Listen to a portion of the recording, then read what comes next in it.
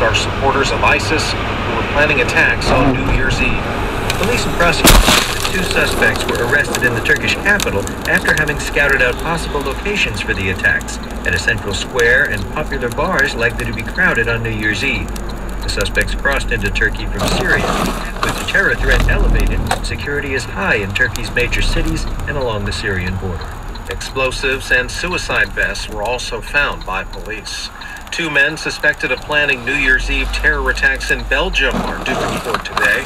They were arrested in police raids this week in and around Brussels. Former New York Governor George Pataki is suspending his 2016 bid for the White House. NPR's Scott Detrow says Pataki's campaign struggled to raise money